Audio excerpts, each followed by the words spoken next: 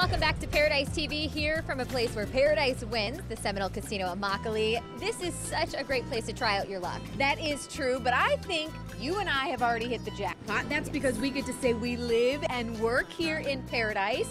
That is also the case for a Florida fashion designer who is making a big name for herself right here in paradise.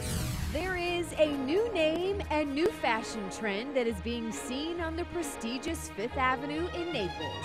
I just describe it as fun, creative, um, colorful, big into color, print, just bold. A way for a woman to really show her, her confidence. Tracy Negoshian is a Florida fashion designer. Her headquarters is in St. Petersburg, but she decided to open her first flagship store right here in Naples. How is it being a fashion designer in Florida in Paradise? It's it makes it easy because the creative juices always mm-hmm. flow. I mean, the landscaping here is beautiful, the water, so colors. Um, being that I have such a colorful line, there's always inspiration wherever I turn.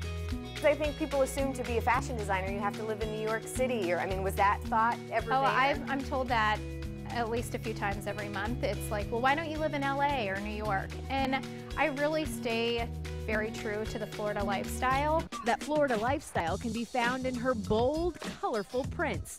Everything from boat anchors to seahorses. I mean, your brand does stand out.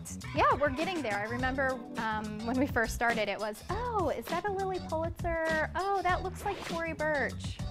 And, you know, of course, my mom was always right beside me saying, no, that's a Tracy Negoshian. And now it's being more recognized, so we're not being compared to, although those are great designers. But now it's nice to say, oh, that's a TN.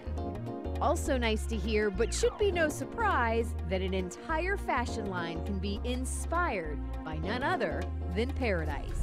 Tracy